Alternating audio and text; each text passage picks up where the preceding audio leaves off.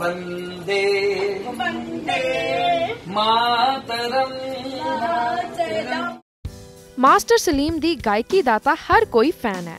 latest video master Salim ਨੇ social media account ਤੇ share ਕੀਤੀ ਹੈ ਜਿੱਥੇ ਉਹ ਯੂਕੇ ਵਿੱਚ ਬੱਚਿਆਂ ਨੂੰ ਵੰਦੇ ਮਾਤਰਮ ਸਿਖਾ ਰਹੇ ਹਨ ਤੁਸੀਂ ਵੀ ਦੇਖੋ ਇਹ ਕਿਊਟ ਵੀਡੀਓ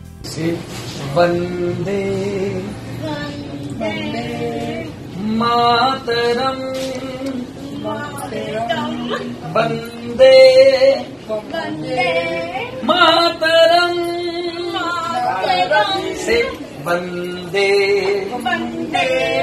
मातरम् वन्दे मातरम्